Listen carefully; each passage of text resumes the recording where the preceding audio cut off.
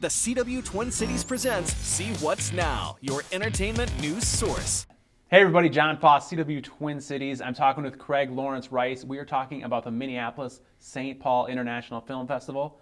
Thanks for having us. Thanks for being here. I So- think it's great. Tell us a little bit about the festival. Um, the festival this year, it's our 37th year. Um, Mm-hmm. This festival's been going on for a while. It's one of the older festivals in America, and I'm really happy to be involved in it. Um, the film, film, film festival that we have right now is going to be probably almost 200 films from all over the world, shorts and long form films, documentaries and, and fiction pieces. It's I, I'm really excited about it this year, and and we have uh, events going on, parties, which is a lot of people think that's kind of why we show films, is so people can have parties. But That's why I'm um, here. Yeah, right. And then we have panels that are basically there to sort of, I, I think, to enlighten people about filmmaking, to educate to a certain extent, and to get people more engaged in the process. Um, I believe that cinema is an art form, and there's also a literacy to film watching and film going and film understanding that I think that we try to help to encourage people to get to. Um, we also now have this year as our second year of really doing uh, what we call the Next Wave, which is a, a group of young people from uh, Minnesota Art Institute, uh, select films by other young filmmakers in the same age group to show in the festival. So they kind of run their own little mini festival inside of our festival. So you're going to see young people's films by judged by young people, selected by young people. Um, so it's that's always I love to see that because they have a different kind of concern and kind of interest than if you're once you become a, sort of an adult adult. Um, then we would select for them to watch and see. And so it's kind of uh, really interesting. Um, so proud of that aspect of it. We have Film Fatales, which is a national organization of, of women who do feature-length films, um, are going to be here for the panel, and we have several of their films in our festival right now. Um, and then I run pr- primarily the it's called the Minnesota Made section of the film festival, which is films, features, and short films by Minnesota filmmakers. Um, and we have a really strong group of probably about 15 films, 16 films that are going to be shown during the festival this year. So Cool. good, yeah. So that was going to be one of, one of my questions later in the interview, but I'll ask it now. So Uh-huh. Mm-hmm. Sure. is is there quite a few locally made films, and what is the state of the Minnesota film industry right now? Um, there's quite a few um, really quality Minnesota-made films that are could compete on a national level. What we do now with the and have for several years now is all the Minnesota-made films are judged based on the quality of every film from all over the world. Since the Minnesota, uh, this, since the film festival is an international, independent international cinema, all the films are judged in the same criteria. So the Minnesota film makers don't get a special pass because they're from here. They have to fit in the context of what everybody else is doing in the world. So we have really strong films here. Um, I think there's a lot of films made in in Minnesota. Um, I- think the issues that sometimes ha- they have is that we do documentaries really, really well, and I don't know if that has something to do with the the, the the style and the concern that Minnesota people have. Um, but I would say that probably of the 16, 12 of them are documentaries, feature-length documentaries, and they're really strong and really powerful. And, and I'm, I think we as Minnesota should be proud of that. I think when we think about films, we always think of sort of fictional-based films. Um, there's not as many of those, but but there are a few of those here. So. Okay, great. Mm-hmm. And uh, you have very extensive producing, directing, film, music video, live entertainment background. right. You have you, you've been nominated for four Emmy awards and an, and you've won an NAACP Image Award. Yeah, mhm, What is your role in this film festival? Um, my role in the film festival, I came in here almost six years ago now, was to sort of help to uh, build up and enhance this Minnesota Made um, aspect of the festival, and which I, I think we've done. I also created the Next Wave uh, part of the festival, and I also work as a programmer during the regular year for the Capri Theater, which now is open, and we show uh, film the first Thursday of every month. So really programming and helping in in in, in uh, the festival programming, but the year-round programming.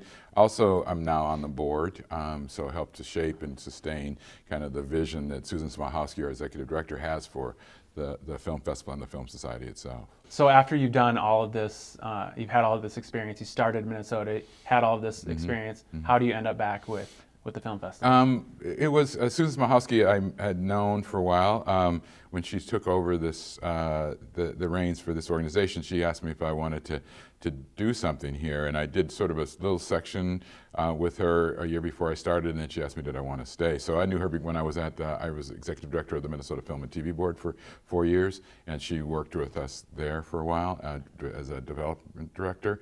And so we had sort of had a long-term relationship as, as relates to what she knew, what I could do, and what I wanted to mm -hmm. do. Mm-hmm. And I think I needed to do this at this time of life because I sort of came out of sort of the, the making side of filmmaking, and I realized the barrier of entry to filmmaking is no longer there. Um, you've got an iPhone, you can do that. You get mm -hmm. a mm-hmm. computer, you can shoot, cut. I'm right editing there. this interview. Yeah, right, exactly. While we're sitting here, right. That's how fast. Mm -hmm. um, so the barrier of making films is not there, which is what controlled it before. Now what it is, it's not about making the films, it's getting the film seen and getting it into the audience. It's, it's like you got to look at it now as there's a cereal aisle, you know, and there's all these cereals, and how do you cut through all the clutter that's on the shelves? And I think that I wanted to learn more about how uh, distribution, exhibition, and festivals really, really worked. You know, before I had been in festivals, but I never paid any attention to it. You know, mm -hmm. just like okay, they're showing your film, that's great. You know, but now I realize this is, can really help you move your film forward and move your career forward if you look at it as a career. Um, and I wanted to learn more how it worked. So. You kind of talked about this, at the beginning, but what is the thing that makes this film festival unique? You talked about a theme of this film festival. Tell us about yeah. that. Yeah, I, I mean, uh, the film for the Film Society is in, in uh, you know, international independent cinema is our theme. Mm -hmm. This festival right now has one uh, our theme for this festival is called Chasms and Bridges, and it really is, you know, what separates people, what brings people together. You know, we're looking, we're trying to find films that sort of support that idea, and so we're trying to, you know, it's not some deep political process. I'm not saying that, but there are things that are actually in our world now, which is a really tough, dangerous unfortunate world we're living in right now. So what separates us and what can bring us together? Um, what, how do we build these, these bridges? And, and that's kind of what we look for films in this festival. So there's a number of thing, films we have that are about everything from racism and gender issues, transgenders in the military. Um, you know, some, there was one called Dark Money, which is really kind of about unfortunately, money in America and how it affects everybody um, and how that's sort of manipulated. There's the one on, on, the art world that's just about how the art world is manipulated. Uh, it's all based on money, based on what people tell you it's worth and not necessarily what it really is worth.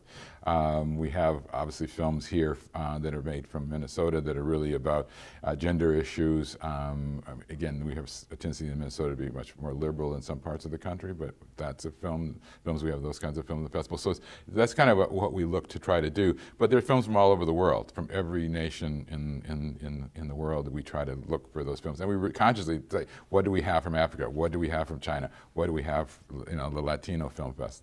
Um, Latino films. What do we have from Scandinavian countries? So it's not just like we take everything, we actually go in and say, what can we do to represent? Since this state is one of the few states in America that has so, you know, bicultural, and we try to address the cultures that are here in the state whatever are, we do. Are there any specific films in particular, in particular that you're looking forward to? Um, yes. Um, some of them I've already seen, but I'm looking forward to seeing them again. um, I, I, the Rider, which is about Native American rodeo uh, family in, in North Dakota. I love that film. Um, that's a whole other world I never knew existed. And so that, you know, it's kind of like taking a trip. Um, there is a film called Dead Pigs, which is a Chinese film that I just thought was great. Um, I'm Not a Witch, which is an African film about a culture of sort of women who are witches and how they sort of control them. Um, they don't necessarily get rid of them, they control them because um, I do believe in that process. Um, I'm interested in seeing people's response to uh, uh, um, I, I, Melody Gilbert has a film called Silicone Soul, which is about people who fall in love with uh, dolls, um, life-size dolls. Um, and at first, it's kind of off-putting, but you realize that people just need companionship and they need love and they crave it. And so if it's with something that's inanimate, they need it and you, you lose your judgment. So it was the most transitional film I've ever seen in my life, where I went from one thing and saying, these people are crazy, to, oh my God, this is what loneliness can do to you, you know? Mm -hmm. yeah. And you mentioned that there's Q and A's and, and uh, interaction yeah. like that. Yeah. Will there be directors, actors, uh, etc. Yeah, here? yeah. There, we we have a number of filmmakers and producers coming and actors coming to the festival, and we do after every screening that there are people represented in the, um, people that represent the films. We do a Q and A at the end of it, um, so that happens for every screening. Um, and then when we when there are um, panels, like we'll do what I call the duets, which is two filmmakers with films in the festival from different cultures will come together and talk about their filmmaking experience and their ideas and philosophies about films. We do a couple of those. Mm-hmm. Um, we'll have legal panels talking about again going to how you, you know, what to look for and how to make films and make them more successful. Um, we're doing a what we call the Minnesota Cinematic Awards, which is a filmmaker who's from here. Um, last year we did Sarah Pillsbury. This year we're doing Peter Markle who did, did Personals, which was one of the first uh, sort of independent films, not just in this country actually, but he shot it here. He's been in LA for 30 some years, and he's coming back here with his latest kind of independent film. He decided to go back old school and do Mm-hmm. something like he did his first movie with no budget and just doing it. So, Cool. it's, yeah. How, how do people that have made a film or that are going to make an, a film, aspiring filmmakers, how do they get their film submitted? Number one, and number two, what do you look for? What does your what does your staff look for when accepting films? What what makes a good film and a bad film? Um, we start taking submissions um, in August, um, so we'll start looking for films. So filmmakers have, then they should start submitting uh, to us um, those films in August, and we go all the way through till like December, um, select, uh, uh, selecting and uh, gathering films and selecting them. Jesse Bishop, who's our head programmer, and the rest of the programming staff get together and sort of set a criteria for what we're trying to do uh, in the next festival. Um, what I personally look for, for myself is I look for films that are actually about something. They're not always traditional storytelling, traditional narrative structure. I look for films that are about something. So they sometimes they can be experimental, sometimes they can be sort of edgy, sometimes they can break all the norms. I, I look for film again as an art form, but it has to be, I think, education, enlightening, and, and, and entertaining at the same time. And so I kind of look for those things in all the films. So it's not about what I like so much as about what I think the audience will appreciate and, and absorb and enjoy. What's going to get the film shut off in the first 30 seconds? That's exactly. I it literally. I know. I, I mean, I, I jokingly tell people I can usually tell the film is going by the opening image. You Mm-hmm. Yeah. know, um, I do give it more than that to watch it just to see maybe they they stumbled at the, because sometimes we take rough cuts, so you got to give them a break and Mm-hmm. Yeah. go through the film to see if they're maybe it's just they when they f- finish it, the film it's going to be better. But you Mm-hmm. know, when you look at a rough cut, it's hard sometimes to say this is what it is. It's what what will get the, the audience to. Pay, you know, fifteen dollars to come and see this movie. You know. Note to self, though, make that first 30 seconds. Oh, a lot of, I'm lot, telling lot you, of hey, hey, first image, make that first image strong. and mm-hmm. that's, you know, okay, yep, yeah, Yeah. exactly, exactly. right. That's what it is. It's like a hit record. you know? Yeah, yeah.